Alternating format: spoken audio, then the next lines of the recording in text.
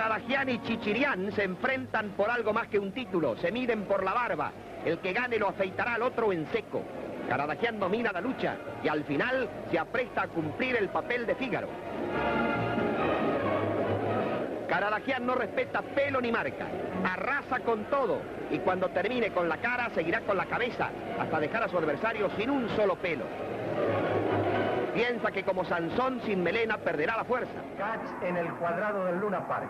Un espectáculo que atrae y emociona a verdaderas multitudes.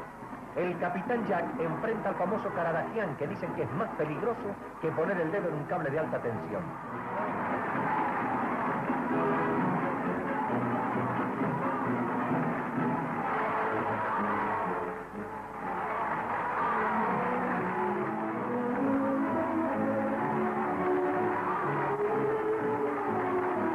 Jack ha patentado este medio práctico de dar masajes y él mismo dice que con su método uno se cura en dos patadas.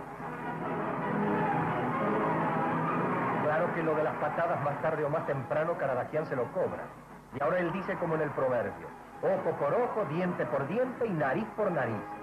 Al final es Caradagian quien impone su extraordinaria fuerza y se muestra vencedor teniendo bajo sus plantas al pobre Jack, cuya opinión sobre Caradagian no podemos reproducir. Hola, buena gente. Hola, buena, don señor. Forastero. Así es.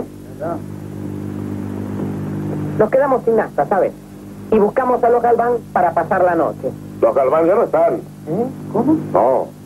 Pero si ustedes me permiten, tendré el gusto de invitarles. ¿Vive lejos el señor? No, no. Cerca nomás.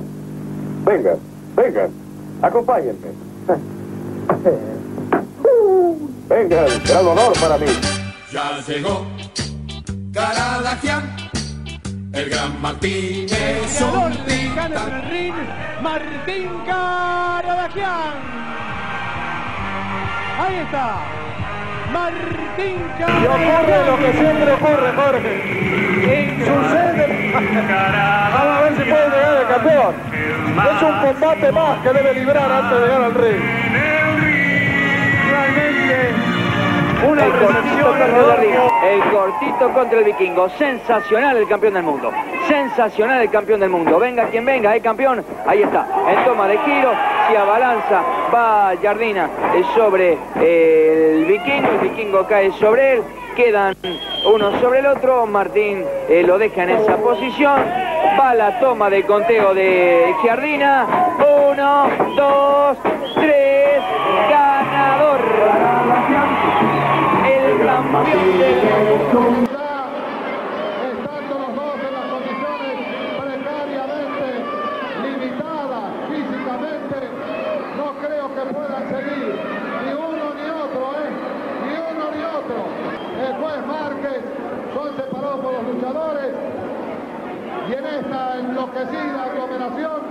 Creo que se impone no va más, no más y hay empate, dice el árbitro.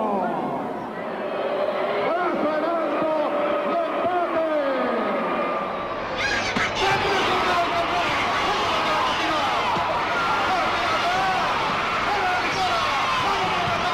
con todo el campeón. ¡Vibrante! ¡El Luna Park de pie! ¡La vuelta! ¡Por Premio Martín Caradagian. El campeón del mundo. Sí, cómo no, ahí está. Y Nerón Martín. Ya lo conoce usted, ya lo conoce. Ya ha luchado con él. Vamos, Caradagian, vamos, Caradagian. No se deje engañar, usted ya lo sabe. Ya lo ha visto en otra oportunidad. Qué cara de hipócrita, qué cínico que. Qué bien la vende, ¿eh? Cuidado.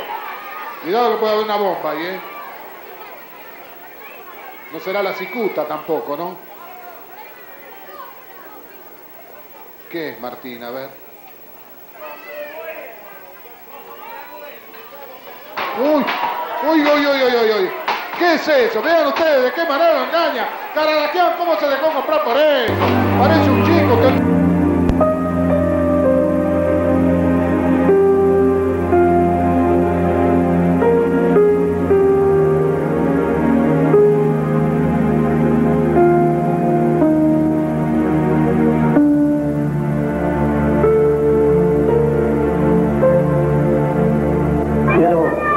decirle dos palabras al público televidente y a ustedes que me acompañan. Fue de gracia. Pero estoy bien, porque estoy con ustedes. Estoy vivo. Eso es lo importante. Estoy vivo. Gracias a Dios y a mi familia. Gracias, Señor. Gracias, Señor.